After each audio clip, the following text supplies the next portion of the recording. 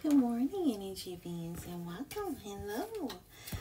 This time I'm doing a card read for Cancers, lovely Cancers today. Hello, Cancers.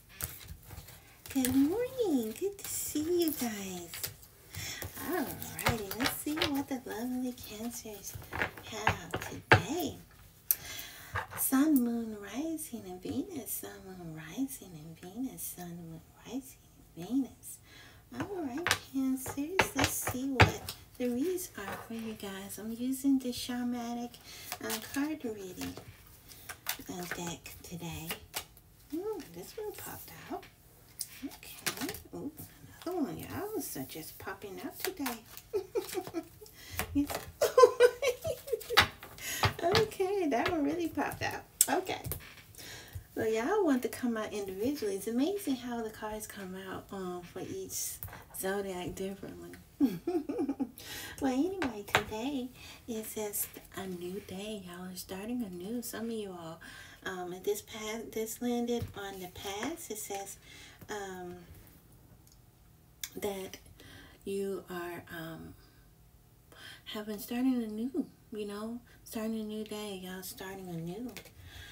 Um, I guess uh, you might have had some things that went on in the past, and um, now things are, you know, starting to fall in place, and you're starting a new. You probably ended a, a cycle in the past, and so as you're starting a new cycle, anything, everything is integrating, coming together, falling in place, integration.